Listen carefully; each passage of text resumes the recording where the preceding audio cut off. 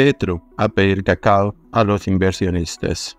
Ahora sí, el presidente Gustavo Petro tendrá que intentar deshacer esa barrera que parece haber puesto entre el gobierno y el sector privado. La inversión se cayó en 11%, lo que no solo es un dato escandaloso para este año, sino que pone contra las cuerdas las posibilidades de la economía en 2024. Para la reactivación económica necesaria, el huésped de la Casa de Nariño requiere a los inversionistas, pero en particular a los sectores de la construcción que ponen ritmo a la vivienda y a las obras civiles. Ellos son los que le pueden ayudar a acelerar la irrigación de recursos para que se mueva la producción y se mantenga el empleo.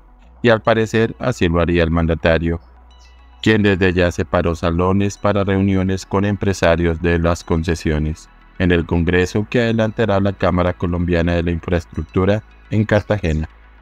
Petro tiene previsto llegar de manera temprana al evento en la noche del martes para estar madrugado en los encuentros previstos con inversionistas y luego proceder a instalar el evento. Ahora solo falta que llegue a la cita.